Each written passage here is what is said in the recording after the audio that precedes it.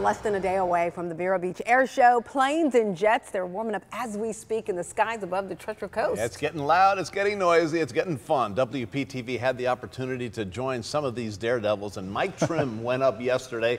He lived to tell uh, uh, about it today, so he's at the live desk now with uh, more on his experience. How did it go? I tell you what, I've been waiting to show this video. Something I'm glad I did. Might not ever try again though.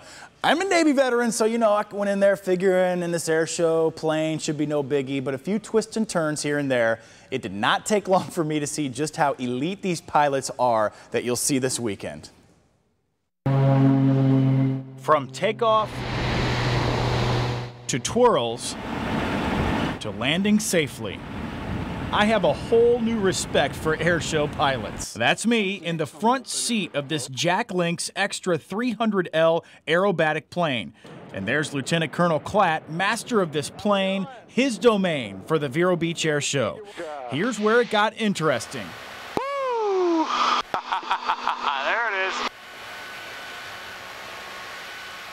We're going to get right after it today. So and boy, did we.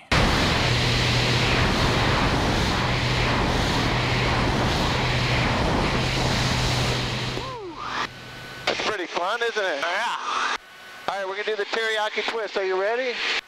Uh, yeah. Not going to lie, it's this moment right here.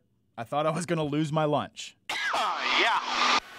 We're going to go straight up. We're going to roll to the left in the Jack Link's teriyaki twist. then we're going to come backwards right about here. We're coming backwards, my friend. Yeah, you're probably getting dizzy just watching this. All right, we're going to do some rolls. Are you ready? I think so. Okay. There's some half rolls. Okay, okay.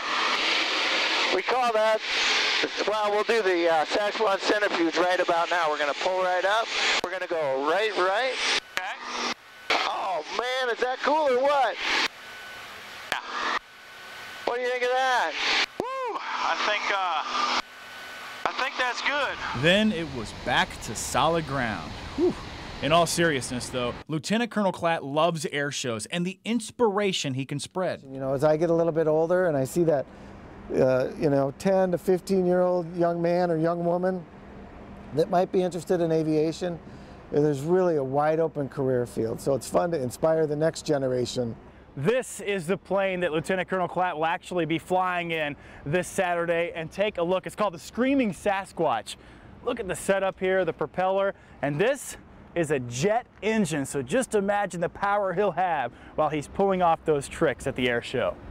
And like many of you, I'm a-okay with watching that from the ground, not in the passenger seat. That's too I much.